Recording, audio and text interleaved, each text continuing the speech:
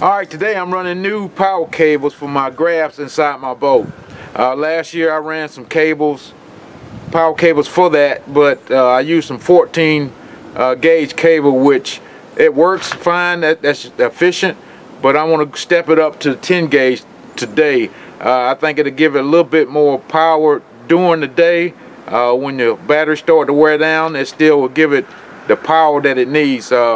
I had a couple of problems with my front unit uh, last year, not reading uh, the maps and all that type thing. So I'm gonna upgrade my power cable today with some, uh, like I said, 10 gauge wire, and I'm gonna show you guys how I'm gonna do it. The first thing you wanna do when you're trying to run cable by yourself on these little spools is get your uh, piece of conduit or some kind of pole stick or something that's that'll fit inside the uh, holes of the uh, rolls here. Uh, what I like to do, like I said, this is a piece of three quarter inch uh, EMT conduit because uh, I run cable for a living so I know these little tricks and hopefully they'll help you guys out. Uh, like I said, I just slide the um, roll on. Just make sure that you can find where the, the beginning of the cable starts and which way you want to roll it off make sure you put that uh, that direction because you don't want it to roll off on the bottom. I mean it works but I like to roll my stuff off the top and uh, you can do the same thing with the other one. Uh, just slide it on and find you something to, that'll hold this this conduit. And I just got two blocks that I had out here in the yard. Uh, just gonna put these this conduit between these blocks like this. And now you got your uh, ready-made uh, cable cable tray that you can roll off this cable by yourself. You don't need a partner with you, that type thing. And uh, like I said, it'll it'll keep everything in place. You don't have to fight with a spool on the ground.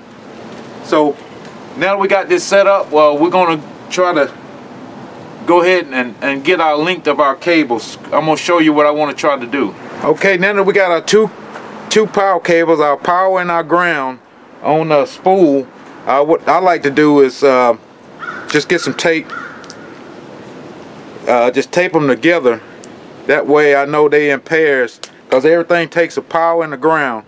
And what I like to do, uh, uh, I got them uh, the the spools here on the back of the boat and I'm just going to walk to the front of the boat to try to get my link, my guesstimated link, uh, before I can come back and, and cut them off and label them for where I want them to be. So I'm just going to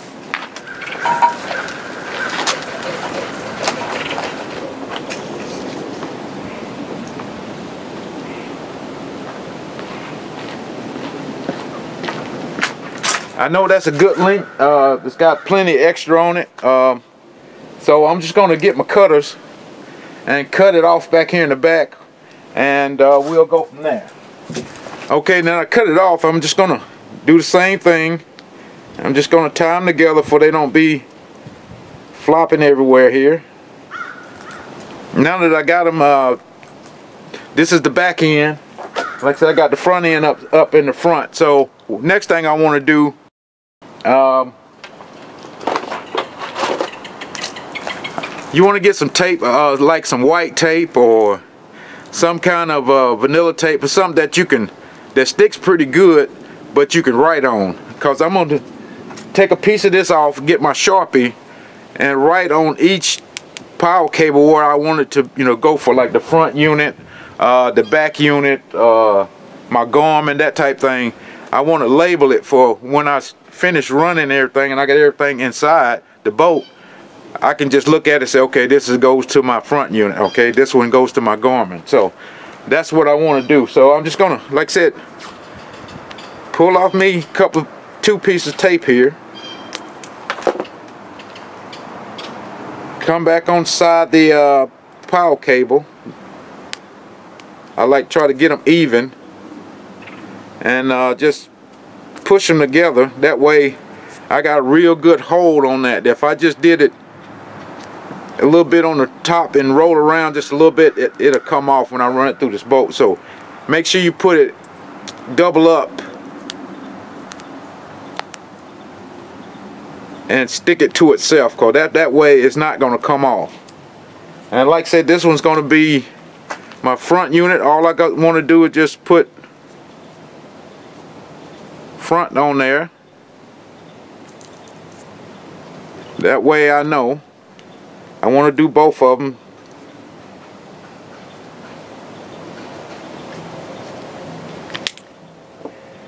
And now I got that label with front and uh, just give it a, with this uh, permanent, permanent Sharpie in about two, three minutes it, it'll be dry that you can touch it, it won't rub off. So I'm gonna do the same thing for the front. And uh, like I said, I got my uh, Lowrance unit up front, my, my 12 touch, and I got my Garmin up there, and I got the live scope uh, live scope box that needs power. So I'm gonna run three sets of two up to the front. So I'm gonna do this three times, well two more times. And the other power gonna go to the back unit here. So I'm gonna have to just run it to the uh, console. So let me do that and I come back and uh, we'll go from there. All right, as you can see up in front of the boat, um, this is my Garmin uh, power cable. This is my uh, live scope power cable. The reason I know because I got them labeled from last time. Uh, if you didn't label them, you wouldn't know what was what. You'd spend minutes, 30 minutes or so trying to figure out what wiring is what. And this is my Lowrance because I got an L on it. So this is the power cables for that. See, if you see up here in the front, if you look down in there, you see all those cables if you didn't label them, it'd be a nightmare trying to figure out what cable goes to what. So make sure you label the cables on both ends, the front and the back. So uh, like I said, this is the 14 gauge cable that I ran last year for these units. Uh, it works, uh, but I just think uh, a higher grade uh, gauge cable would work even better, giving it more uh, consistent power coming from the back. Like I said, this boat is 20 foot, 6 inches long, so I don't know the resistance drop from back there to up here, but uh, I want to try to make it just better than I have in the past. So I'm running the 10 gauge. Uh, but that's I just want to show you here in the front where I got everything and why I got it labeled. Uh, so now what I'm going to do is, uh, let me show you, see if I can show you here. I don't know if you see it, but here you see all these cables come out of this conduit. This is the conduit that runs to the back, uh, where all the cables come from the back up to the front. Uh, so you only have, that's probably only an inch conduit, and you only have that amount of space in there. So I'm gonna pull these old power cables out before I run the new ones. And uh, like I said, I already got a pull string in here from running it last time. I'm going to show you how I'm going to hook that up. And uh, that's the key to running cable in your boat, this, this, this pull string here. All right, now that I got all the power cables pulled back from the front, um, and the uh, ground cables also, I'm going to leave this green cable. This green cable is the uh, ground for my uh, live scope up in the front, which is okay at 14 gauge. And uh, this is the uh, power cable for the back unit. And I'm to use that as a pull string, so I'm to leave that in for right now. But but the rest of the cables, like I said, uh, you can use them for something else if you need to. But uh, right now, they got it here. Okay, the first thing you want to do is is uh, get your your new pull string tied to the old pull string. Uh, the best knot I've found over the years is just what they call a a surgeon's knot is basically just a overhand knot that you pull both of them together and that knot doesn't come loose. So, but you want to try to make it as small as possible. Like I said, this is some big uh, pull string. So you want to just, uh, if I can find my tape, I'm going to tape that. Well, let me get the tape first. Okay, first thing you want to do is, like I said, you want to tape this knot down to make it small as possible. Uh, and like I said, I just get tape and it helps for making sure that knot doesn't come loose. So I just like to tape the the tail down all the way to the end in case you have to pull this back that tail won't catch and uh, make uh, prevent you from pulling it back. So like I said right there it's nice and streamlined and uh, it make for a nice pull. So I'm gonna get my my new power cables. And what I want to do is just right from the start I just want to stagger them don't put them all to, the head all together like this. That'd be fine if you had an open conduit nothing is in it but when you got cable in it you want to try to stagger them to make it uh, easier pull. I mean down here all of them's gonna be you know the same size but to get it to run through other cable and and snake its way through there you need it uh, staggered. So once you get it staggered you just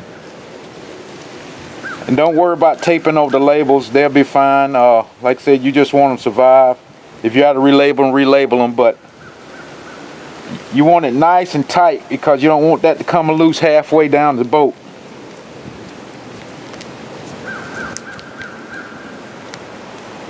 And at the end try to make a, a point much as possible.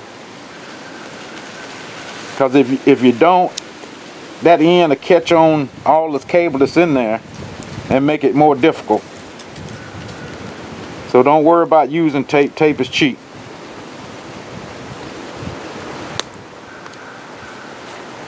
okay so we got a point on that much as I can get it. Um, I'm gonna put some more tape here like I said that's the worst thing when you're running cable to have the, the cable come loose halfway uh, in the middle of the run so I'm just gonna tape it some more.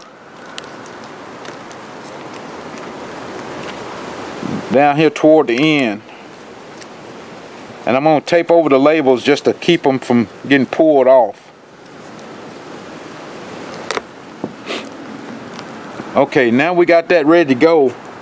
We're gonna basically do the same thing same thing here.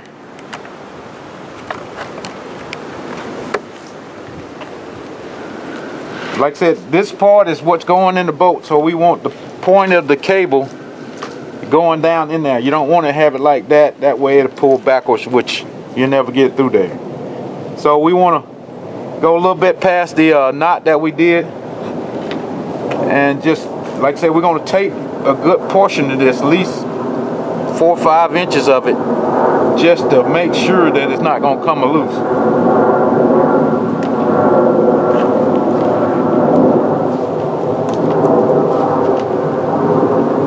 Like I said, you want this super tight. Tight as you can get it. Like I said, you always want to try to make a point toward the end, so go down the tape some. I mean the pull string some and come back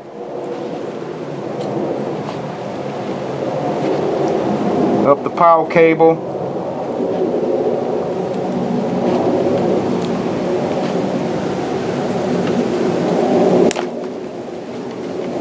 so right there I'm confident that this won't come loose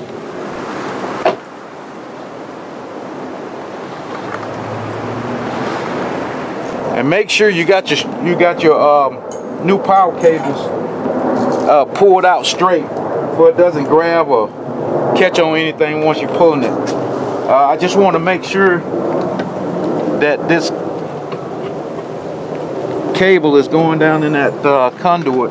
I might have to get up on the boat, but and the other thing is the cables that you left in here, make sure you tie them down to something for they won't pull back through there once you pull in this new cable it won't pull with it. Uh, just tie them in a knot on something that'll hold it from uh, moving. Like I said I'm just trying to stick my arm in there make sure that the new power cables are going in the conduit and not getting hung up on the front of the conduit. And I'm gonna pull these cables to this side of my boat. For to have a more straighter path through that conduit.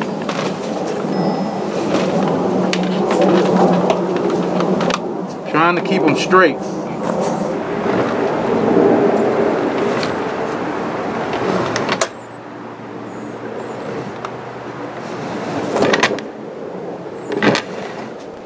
I'm doing a constant check on these to make sure they not getting kept caught on anything so it's got a nice pull to it so you're gonna have to really pull it and just listen and make sure it's not catching on anything.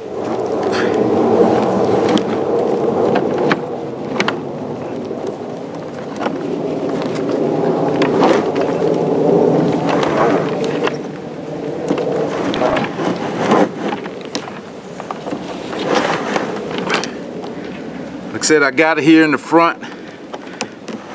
I'm just gonna check, see how much slack is in the back before I don't pull too much up here. Okay, my guesstimate was pretty good. Like I said, I got about, I'd say a foot and a half up here in the front, which is good to work anywhere in this uh, hole up here. And on the back, I have probably two feet, two and a half foot of uh, cable to work with, so that's good. I can go anywhere I want to on the back here. What I want to try to do is put this little fuse box here somewhere in the back uh, to be able to hook these cables up and put fuses in them, uh, that type thing, trying to protect the uh, units. So, uh, but we're gonna go ahead and get these cables probably terminated and see if we can uh, put, like I said, put some ends on them. And then again, like I said, I still got a a pull string inside that conduit for if I had to pull one more cable for something else I add up here in the front or anything like that. Alright guys, I wanted to show you what kind of connection I was using. Uh, like I said, I'm using the crimp with the um, watertight uh, shrink wrap on it. Uh, I tried to use, uh, I got a couple more different ones over here. Uh, the one with the solder in the middle of it and all that good stuff, but they just didn't work good for me. So I went back to the old school, uh, the ones I've been using forever. Uh, like I said, they, you crimp the cable in the middle and uh, you just use a heat source to shrink wrap the uh, uh, the you know the, the coating over top of it and make it watertight. And you're done. So that is much easier. Uh, and I did the pull test on it before I you know doing this putting the heat on it make sure it doesn't come apart so I got all the connections done here in the front for all three of my units and um, I guess I'm gonna go back in the back and put some uh, circle connectors I don't know exactly what you call them but the ones that got the little ends on them that you can uh, put over top of a over a, a, top of a connector, you know, a screw or something like that. All right, guys, I'm buttoning up the back here. Uh, like I said, I put these terminals on it that uh that'll fit here inside this uh, new little uh, fuse box I got.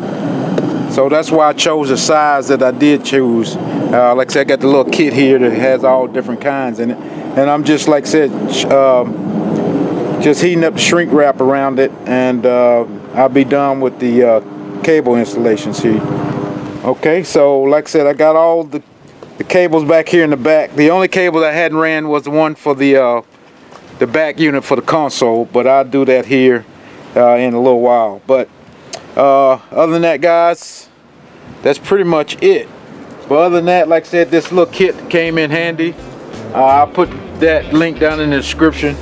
And uh, this, this fuse box, I think is gonna be a good thing for me too, so. And the uh, cable, like I said, 10 gauge cable from 14 to 10. Uh, I'll put that in, link in the description too. But all other than that, guys, I think that's about it. Uh, hope you like the video. Hope you get something out of it. And uh, like I said, a lot of people run new cables in their boat, so you need to know how to get it to where the easier way. So all right, guys, I'm gonna stop rambling and I'm out of here. Thanks for watching.